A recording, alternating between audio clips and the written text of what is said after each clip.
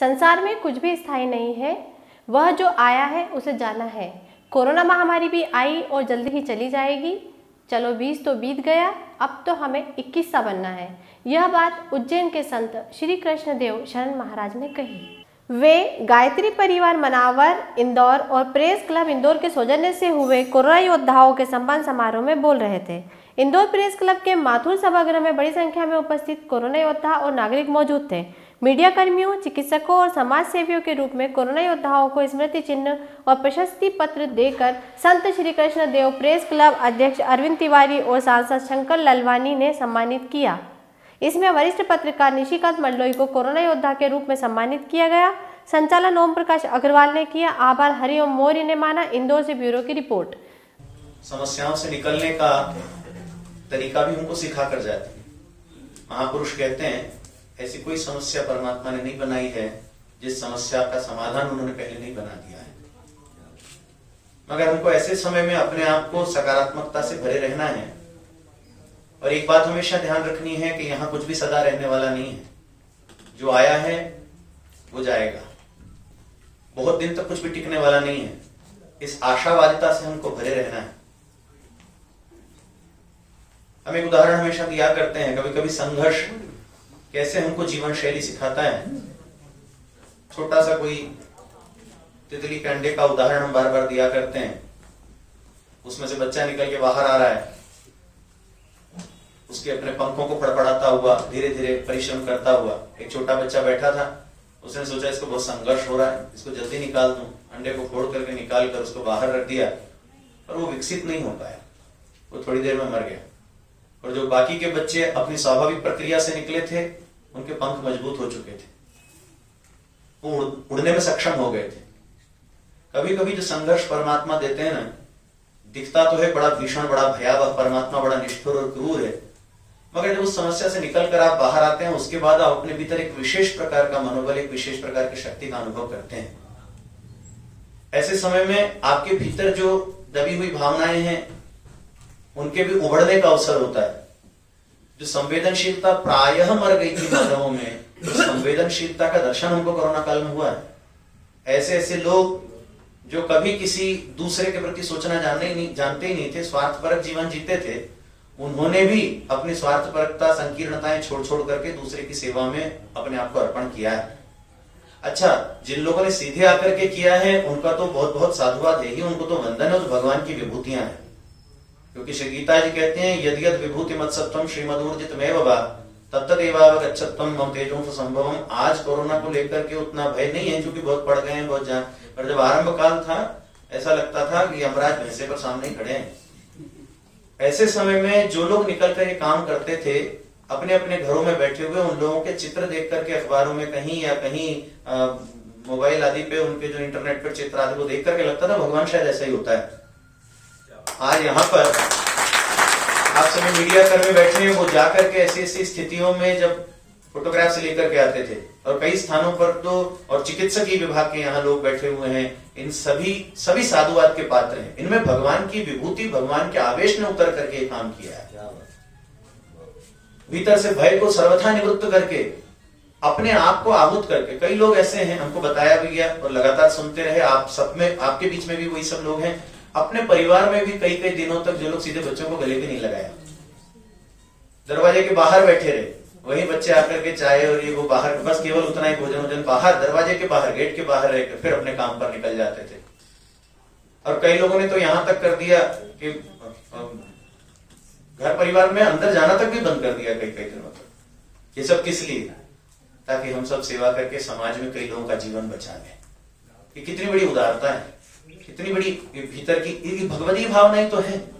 वसुधैव कुटुंबकम का एक विशिष्ट भाव हमको इस इस इस दौर में देखने को मिला। आई हुई चीज़ तो चली जाएगी, याद रह जाएँगी स्मृतियाँ। याद रह जाएँगी वो शिक्षाएँ जो इसके बीच में मिली। नकारात्मकता बहुत आई, मगर उसके बाद भी कई लोग सीधे तो कई लोग अप्रत्यक्ष रूप से, कई लोग परस्पर मोबाइल पे फोनों के माध्यम से भी एक दूसरे का संबल बने। और एक बात तो बहुत अच्छी हुई कि कम से कम परिवारों को साथ रहने का अवसर मिला। एक तो समझ बहुत कुछ बुरा हुआ मगर कुछ कुछ अच्छा भी तो हुआ। तो छोड़ो बुरा तो निकल गया बीस तो गया अब तो जीवन इक्कीसा बने। अब इक्कीसा जीवन बने।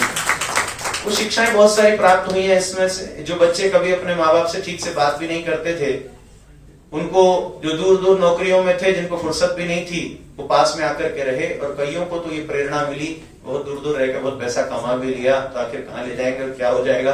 पर परिवार के साथ कुछ क्षण रहने का अवसर मिला। वो सब छोड़ करके, जो भागम भाग थी भौतिकवाद की, कईयों को हमने देखा। शत प्रतिशत तो नहीं होता है, पर अगर 40 प्रतिशत भी होता है 30 प्रतिशत भी होता है तो बहुत बड़ा काम हो गया। आज की भौतिकवादिता की दौड़ में वो भूख छोड़ करके अब अपने परिवार के साथ रहना।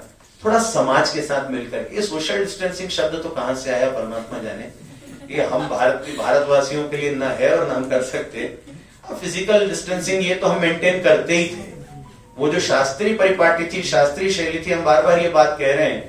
तो उसको हम लोग समझाया करते थे, लोगों को लगता था, ये दकियानुसी लोग हैं, पुरानी बातें करते हैं, ये जूते चप्पल उतार के घर में जाते हैं। अब ऑफ़िस में भी जूते चप्पल उतार के जा रहे हैं।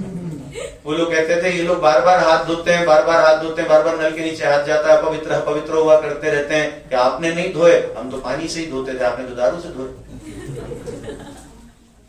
हुआ तो यही। लोग भोजन, आहार इत्यादि की पवित्रता को लेकर के कितना सजग और सावधान हो गए। शुचिता का सिद्धांत हमको सीखने को मिला। हाइजीन अलग चीज़ है, शुचिता। बाहर के देशों में हाइजीन। हम लोगों ने शुचिता को हमेशा से आदर किया है, सम्मान किया है। वो शुचिता का सिद्धांत तो लोगों को समझ में नहीं आता था, मगर अब अपने आप रूटीन में आ गया। भगवान को भी छड़ी मारना आता है। हम इसको दूसरी दृष्टि से देखते हैं, कोरोना एक प्रकार से भगवान की करुणा ही थी।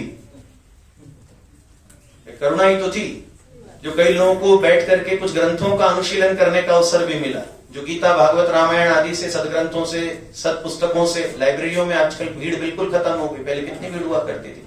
थोड़ा लोग ग्रंथों की ओर आकर्षित हुए, कुछ पढ़ने का अवसर मिला।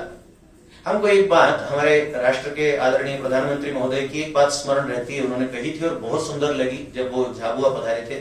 और झाबुआ के पास में जो चंद्रशेखर आज़ाद जी का जन्म स्थान है वहाँ। और उन्होंने एक बात कही थी वहाँ पर कि लोग कहते हैं, हम लोग दुर्भागी हैं।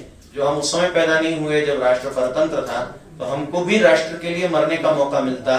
तो उन्होंने कहा, आप ऐसा क्यों सोचते हैं? अगर उनको राष्ट्र के लिए मरने का मौका मिला तो आपको राष्ट्र के लिए जीने का मौका मिला है। आप अब अपना सर्वस्व राष्ट्र के लिए आहूत कर, आप जहाँ हैं, जैसी स्थिति में हैं, जो कर रहे हैं। हमने देखा, कई माताएँ जो टिफ़िन सेंटर्स चलाती थी, उन्होंने कई गरीब परिवारों को भोजन बना बना के हमने देखा पहुँचाया। उस समय जब बड़ी विकट स्थिति थी, भीषण काल था। कई लोगों ने अंदर के अंदर लोगों के यहाँ, लोगों के यहाँ किराना पहुँचाने का, ये सब बहुत कुछ काम किया। अपनी अपनी जगह जो व्यक्ति जो कुछ कर सकता था, उसको सेवा का अवसर मिला। ध्यान दीजिए, तैरना सीखना है तो जलाशय में उतरना पड़ेगा, किनारे पे खड़े रह रहे करके आप तैरना नहीं सीख सकते हैं। केवल सेवा की बातें माइक पे करने से सेवा नहीं होगी। ये अवसर जो सामने आया, इसका मतलब समझिए, आपको धक्का देकर के जलाशय में पटक दिया गया, अब आप हाथ पैर मार करके तैरना सीख जाएँगे। ये भी एक प्रकार की भगवान की करना ही थी। ये भगवान ने आपको थोड़ा सा जो नींद में आप सोए हुए थे, दूसरों को जगाना चाहते हैं तो सोए हुए हैं जयशंकर प्रसाद जी कहते थे जगे हम लगे जगाने, विश्व लोक में तब फैला आलोक। खुद जागेंगे तो लोगों को जलाना जगाना हम सिखा पाएँगे। हाथ में प्रकाश स्तंभ लेकर के दूसरों को प्रकाश तभी दे पाएँगे जब खुद के चक्षु खुले हुए होंगे। कई मानों में इस काल ने हमारे चक्षु खोले हैं। एक कहानी हम सुनाया करते हैं छोटी सी समझिए भी भगवान की कृपा है। एक बहुत बड़ी बिल्डिंग है, पंद्रह माले की, तेरह माले की, चौदह, जो भी समझिए ऊपर कोई इंजीनियर खड़ा हुआ है, नीचे कोई मजदूर है, सबसे नीचे खड़ा है। वो उसका ध्यान अपनी ओर आकर्षित करना चाहता है। ऊपर से उसने चिल्लाएगा तो आवाज़ नहीं जाएगी। उसने दस रुपए का नोट गुड़ी माड़ी करके ऊपर से फेंका, उसके सिर पर गिरा। लगा ऊपर देखेगा। उसने उसको सीधा किया, घड़ी किया, जेब में रख लिया। ऊपर नहीं देखा। हेलो फ्रेंड्स आप देख रहे हैं हमारा channel S W twenty four news हमारे सारे वीडियो सबसे पहले देखने के लिए आप हमारे चैनल को सब्सक्राइब करें और पास में लगे बेल आइकन को दबाना बिल्कुल भी ना भूलें।